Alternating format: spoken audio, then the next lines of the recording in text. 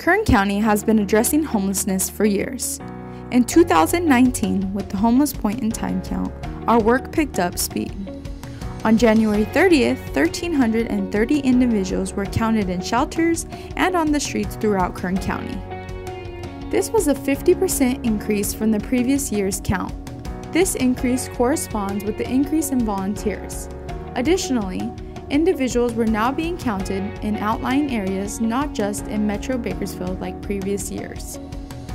During the pit count, the homeless population was made aware of upcoming resource fairs and Homeless Connect events that were to take place throughout the year. A total of 16 fairs were being held from January through October 2019. The purpose of these events was to engage, connect, and build trust with the homeless community. County departments, local partners, faith based organizations, and nonprofits joined to provide services and resources at these events. Attendees had the opportunity to speak with social service providers, housing advocates, receive house screenings, haircuts, clothing, groceries, toiletries, and a warm meal. Here's a look at how many homeless individuals that were served throughout the resource fairs and Connect events throughout 2019.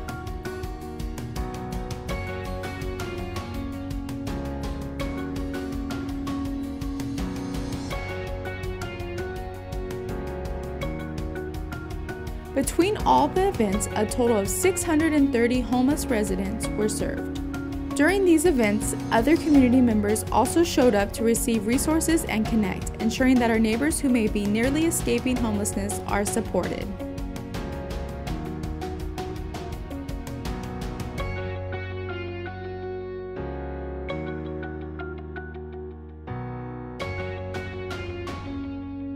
There was a total of 2,514 community members that attended these events.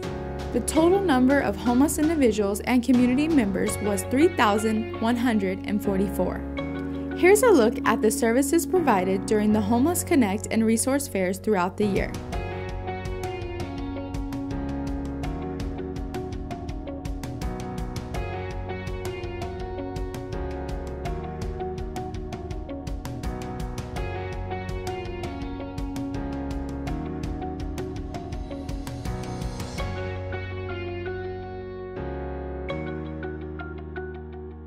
Many of our Kern County departments work together to make this successful.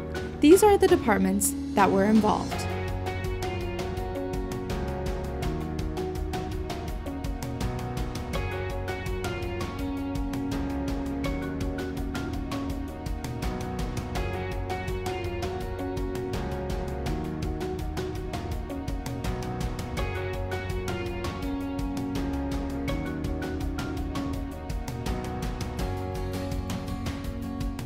Alongside the Kern County agencies, many partners and vendors also contributed to the success of these events.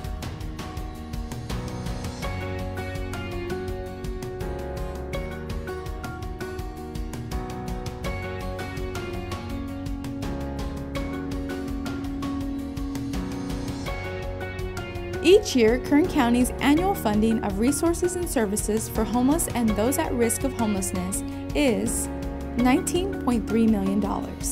The work continues as Kern County prepares to open its low barrier navigation center in early 2020.